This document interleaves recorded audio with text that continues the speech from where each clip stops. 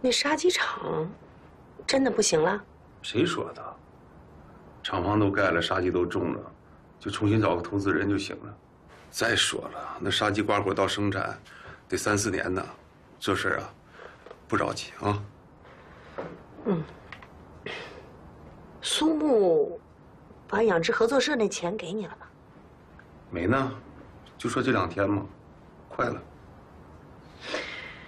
啊，钱到了，我就抓紧时间办手续盖厂房。哎，这样挺好的，干干净净的，不像咱们那个修理厂，整天把我弄得油吃马虎的。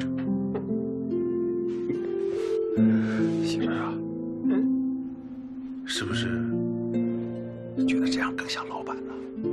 我才不当老板呢，我要当老板娘，我说了算。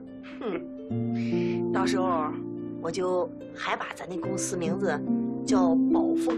草原风情食品有限公司，咱到时候不但能做牛肉干，哎，还能做奶皮子、奶豆腐，还能做酸奶糖呢。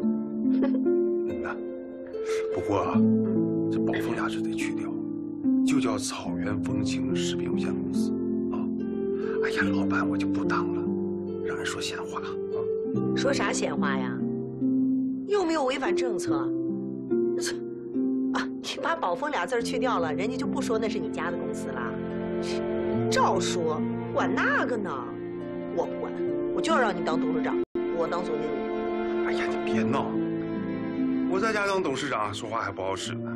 你天给我挂个闲职干什么呀？还挺逗。我就要让你当董事长，然后我说了算。我不当。敢说个不当？你服不服？你是服不服？敢说不服？敢说服服服服服服？行了，媳妇儿，晚点睡觉。